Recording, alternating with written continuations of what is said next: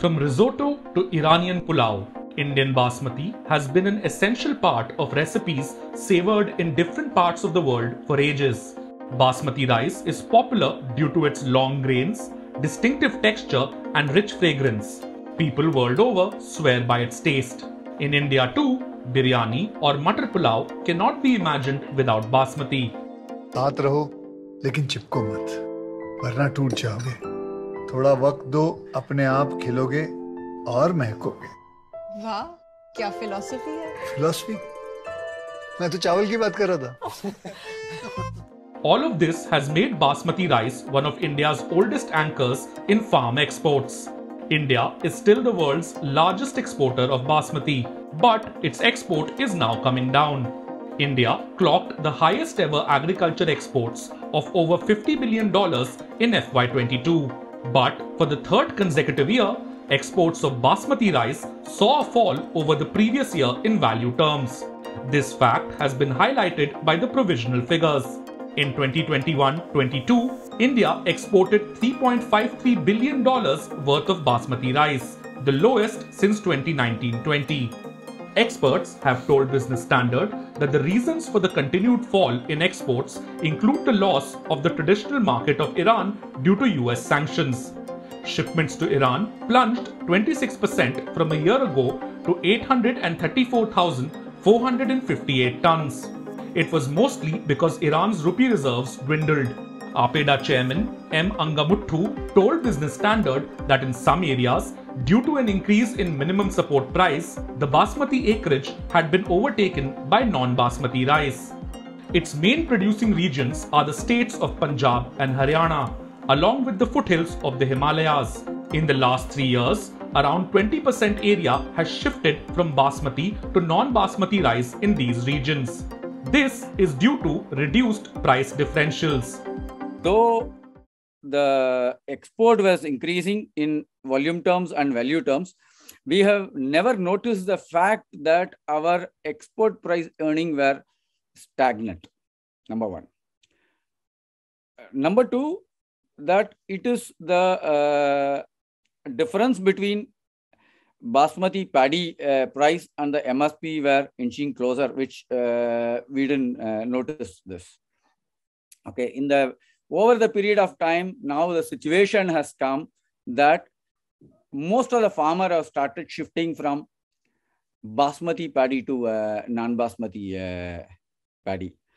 If the situation has to be arrested, we have to come up with a better uh, basmati policy planning. Fungicide problems in the European Union is also a big contributing factor. Trade policy analyst S. Chandrasekaran told Business Standard that basmati sales to the EU had dropped to 150,000 to 200,000 tons from 500,000 tons a year. One of the most common basmati rice varieties produced in India does not qualify for duty rebate from the EU. Adding another blow to basmati export, Oman, Egypt, Jordan, UAE, and Saudi Arabia adopted pesticide residue norms in 2021 that were on par with those in the EU. This had led to apprehensions that if Indian farmers were not given time to bring about changes in their pesticide use, basmati exports would take a big hit due to these stringent norms. India's basmati exports to the EU have been falling since the region tightened its pesticide residue norms in 2017. But on the other hand, overall rice export has seen a big jump. India is the world's biggest rice exporter. It exports non-basmati rice to African countries and basmati to the Middle East. According to a report, India's total rice exports saw a jump of nearly 46% in 2021 from a year ago to a record 21.42 million tons. The jump came as Bangladesh, China, and Vietnam increased purchases. Also, the existing challenges in the EU and the possibly new ones in West Asia by no way mean that the appetite for basmati is dwindling. There is a fungicide called tricyclazole, which we have been, uh, our farmers have been using. Now, our basmati rice, which is produced, which is not meeting the European Commission's norm on uh, tricyclazole. So this is affecting our exports since 2011-12. Basmati being a staple food in uh, Gulf, okay, uh, the exports to Gulf will not fall. And another thing you have to note that uh, after Ukraine war, uh, the oil prices have gone up. The earning of uh, Gulf countries have also gone up. So the the imports will not fall, but they will try to negotiate the prices. Okay, you have to come up with some smart solution on this. Particular pesticide or particular fungicide is there.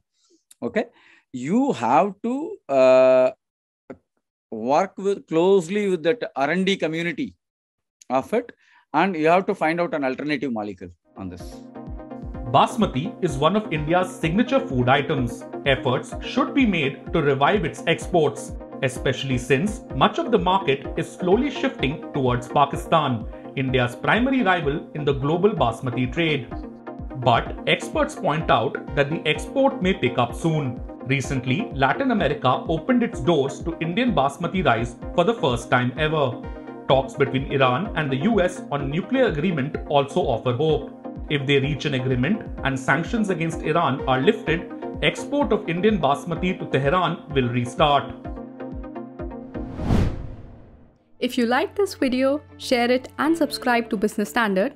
For more news, views and insights, log on to www.business-standard.com. Do also follow us on YouTube, Twitter, Facebook, Instagram, Telegram and LinkedIn.